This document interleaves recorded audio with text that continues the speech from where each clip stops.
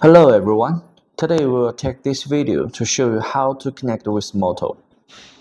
Before connecting the Moto, we need to prepare the basic hardware equipment, including a 48 volt power supply and a Windows system computer. Next, let's talk about the UART serial port connection. There is a UART module and its wire in the accessory bag. The other side need to connect with 4-pin connector. After finish this, please connect the other side with standard 2.0 USB cable. Then connect the UART cable with the motor. You can find the motor UART interface definition as 5 volts TX, RX, GND respectively. Okay, let's connect the 4-pin connector. Then connect the USB to computer. In this way, our USB module has been connected. Here's a little tip. If you are using MyActuator Moto for the first time, when connecting the serial port, need to download firmware for yours. Otherwise, your computer may not be able to recognize the Moto. Where to download the firmware? You can get this from our website. Now, let's try to connect the Moto. Double-click the debugging software.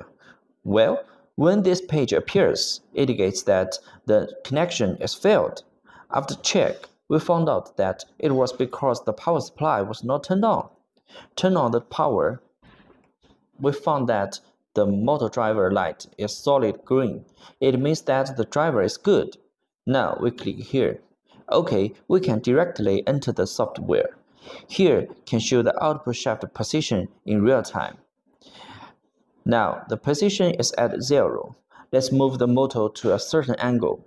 Let's try to move it to 360 degree. Look at the motor. What will happen? Click. OK, the real-time output angle can be displayed here. Here you can see the real-time curve change.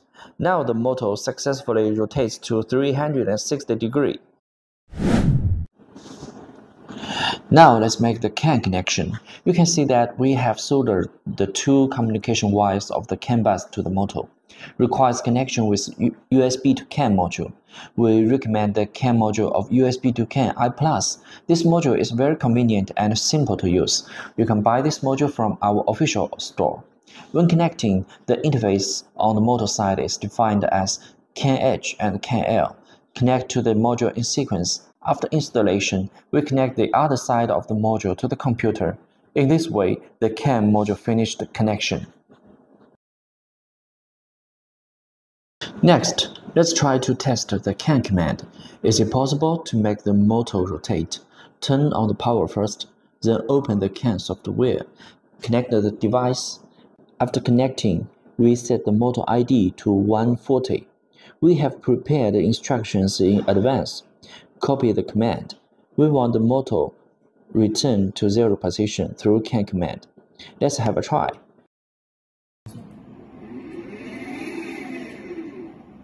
That's correct. The motor can go back to zero position. In this video, we learned how to connect a motor with UART and CAN bus. If you still have questions, you can check MyActuator website and send email to us. Our customer service staff will help you as soon as possible.